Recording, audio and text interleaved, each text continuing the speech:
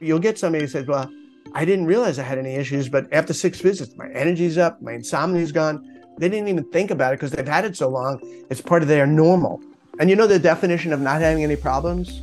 Like, how does somebody know? How do you know you don't have any problems? That's the worst way of determining your well being. And even if you knew that you were thinking that you're well, wouldn't you want to stay that way? They have to recognize this is about preventing issues.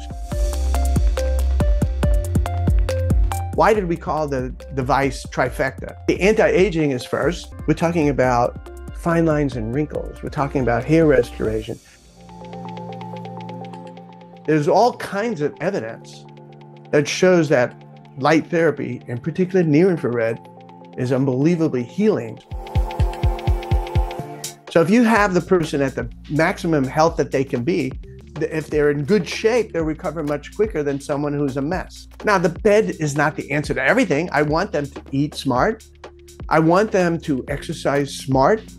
But when you add light therapy to the normal routines that people have, their quality of life is going to be fantastic. That's what I want. I think that people should use it at least once a week, if not twice a month, minimum, when they have no problems. If I can get somebody to come in regularly, if they do have an issue, they're already so much better health wise and stamina wise, I'll be able to quickly get them back to where they're supposed to be.